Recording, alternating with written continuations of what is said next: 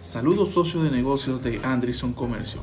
En esta ocasión vamos a mostrar nuestro S-Router X dándole alimentación a nuestro Power Beam M5, como pueden apreciar. En esta ocasión, como repetido, vamos a configurar nuestro S-Router para que dé alimentación PoE a nuestro dispositivo. Recordándole que nuestro S-Router no viene configurado para que dé alimentación. Hay que acceder a su interfaz para poder configurarlo. Sin más que decir, empezamos. Primero debemos llevar nuestro S-Router con nuestro soporte.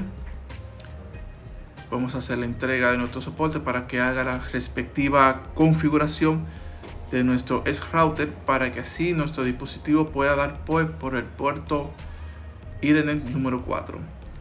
Él va a proceder a conectar el dispositivo a su ordenador y él lo tenemos conectado. Ya en esta parte colocaremos la dirección IP de nuestro dispositivo. Una vez dentro ya mostramos la interfaz gráfica y accedemos a nuestro router. Aquí vemos la interfaz gráfica de nuestro Edge Router X y lo que accedemos en la parte número 4 donde dice Ethernet 4 en la, parte, en la parte donde dice Action seleccionamos donde dice PoE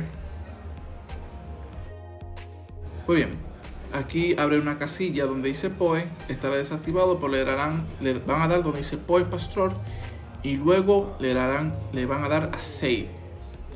Ya esto, ya hecha la configuración, ahora vamos a verificar que nuestro dispositivo esté dándole POE a nuestro Power Beam M5. Empezaremos conectando nuestra feed en nuestro Pastor, como pueden ver aquí y al siguiente conectaremos la otra parte del pastor en nuestro Edge Router X en el último puerto como pueden apreciar. Ya haberlo conectado ya nuestro dispositivo debe estar encendido.